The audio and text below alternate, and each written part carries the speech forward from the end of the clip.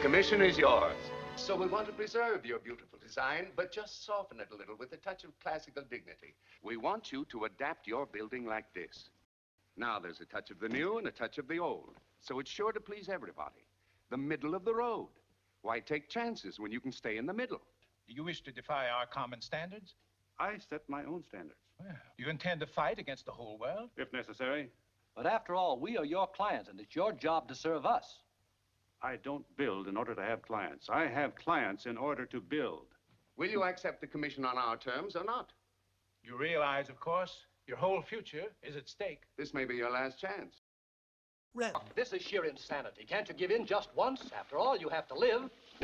Not that way. How else? Don't you have to work? I'd rather work as a day laborer if necessary.